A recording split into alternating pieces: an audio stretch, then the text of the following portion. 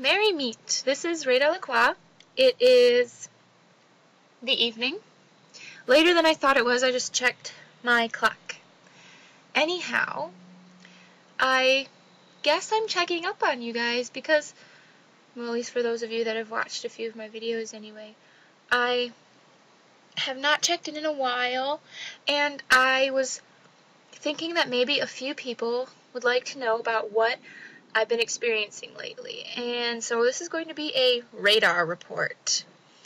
What has happened in the last little bit of time is I watched like half of a movie, the half that I thought was actually good, and I also did sort of a blessing on my house. Anyway, well, I do a lot of blessings on my house because I because lately I haven't really been involved in Wicca as heavily as I would like to be. You know, it's when you start feeling like you're detached from it and you have to sort of dive right back in there. So that's what I did. Um, basically what I did was a really simple ritual. I took a candle, I lit it, I called upon the elements of air and fire, and I asked that basically protect everybody I care about, and I went really into specifics, but I don't have enough time to do that right now. I did some chanting. I was in constant motion as I did this. I introduced a new pet that I have got into my little realm of familiars that I have here, and um, and basically I did some cleansing with some incense. Also, I don't know what kind, so don't ask me. I just grabbed some random stuff. and okay, so about this movie I was watching. One of my friends told me that she'd seen a movie that was supposed to be based on, like, witchcraft, but it was really inaccurate. It had to, a lot to do with worshiping the devil, which I've said this a lot in, a, in many of, a few, well, not many, a few of my videos, that Wicca is not the worshiping of the devil in any form because the devil is a deity or figure associated with Christianity and we are not in any way associated with Christianity unless they are of the it's sort of a new age Christian Wicca hybrid that there is and I know there are a few people who are of that faith. I used to know somebody who was which actually brings me to another interesting story which I might tell. Anyway, this movie is about this girl who moves to a new high school and she meets this boy who's really nice to her and he points out three girls who are not who he doesn't approve of and they are witches and basically she slowly finds out that he is actually a huge basically a douchebag and he kisses her and then lies to everybody about how he slept with her and she was a terrible lay and which is completely not true. And so she becomes friends with these girls and she completes their their gathering of four of the four elements, which makes them really powerful. But then I mean, they have all of the rituals of Wicca correct, but a lot of the things that they believe in can also, they're considered they're not considered mainstream Wiccan beliefs. They're more like a different sector of Wicca, and a lot of the things that they show happening are do are not in any way accurate. Anyway, this movie's called The Craft, and it has that one chick from The Mentalist in it, the chief chick or whoever. Anyway, and it's okay for about the first half of it.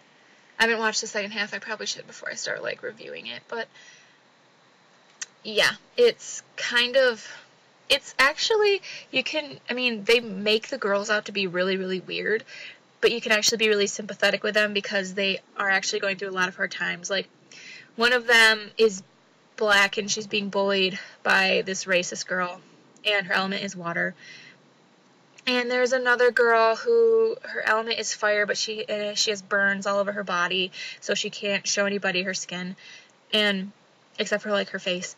And there's a girl who's the element of air, and she basically her mom drinks too much or something, and I don't know. It's it's pretty. You can be sympathetic towards the characters. Like if you have and the girl who moves to the new school, she tried to kill herself. So if you can be sympathetic with any of these things, they're really characters that you can relate to, I guess.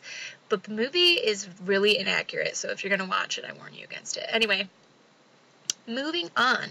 Interesting story about somebody who was a hybrid of Wicca and Christianity.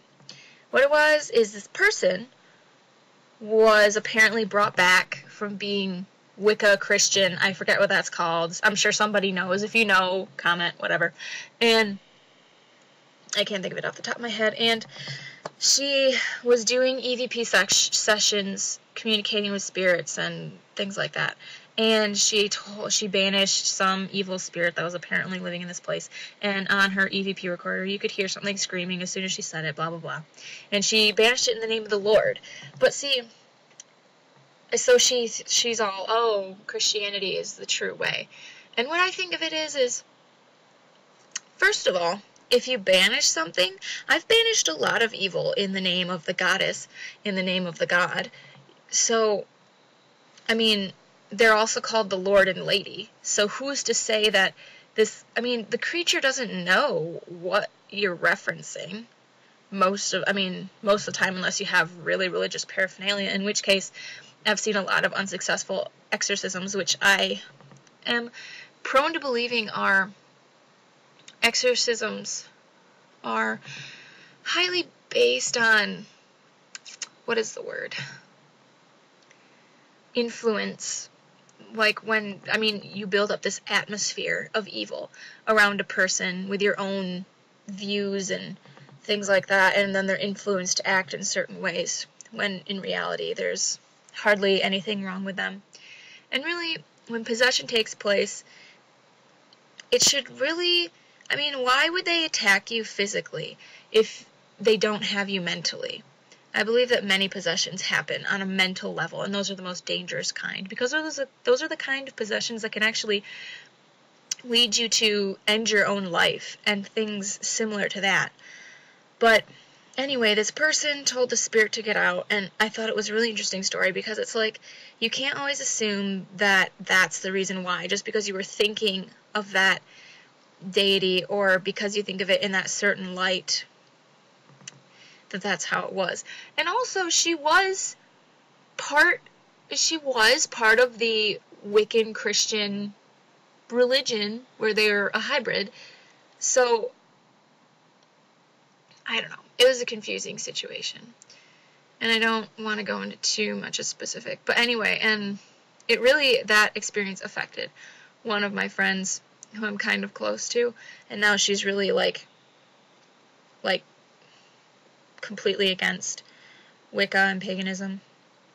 And honestly, the way I see it, like she's, she says that, you know, oh, she experienced lots of things that are evil. And it's like, well, that's because she probably was working underneath a blanket of um negativity anyway. Like she didn't believe that what she was doing was true.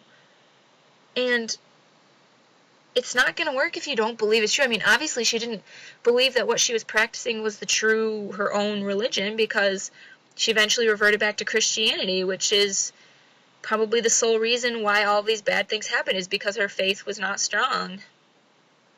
And I know I sound like a preacher when I say that, but that's really a lot of it is you actually have to believe, you have to believe that the goddess wants you to succeed, that she wants to protect you, and that these things wouldn't happen to you just because on a whim. I mean, I know it sounds like a really, really Christian value, but it's almost like a test. Like she's testing you to make sure that you're actually part of this. I mean, you can't just half-ass, you can't half-ass Wicca. You can't half-ass any religion because it's your religion, it's what you believe. And that's why I really would like for a lot of people to be educated about Wicca before they actually decide to join it. Because you shouldn't have to decide halfway through while you're in that section of vulnerability that it's not really what you want. Anyway, that's something to think about. This has been the Radar Report. Have a nice evening. Like me on Facebook, follow me on Tumblr, and subscribe.